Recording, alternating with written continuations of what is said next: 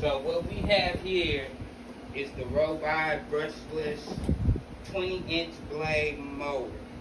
Now, right up here at your front, you got your nice little light.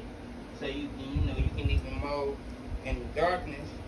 For your neighbor's sake, I wouldn't recommend that. But, you know, do as you feel. Now we got, it's a 40 inch, I said 40 inch. 40 volt lithium battery comes with it. And this mug adjustable handle, easy to use.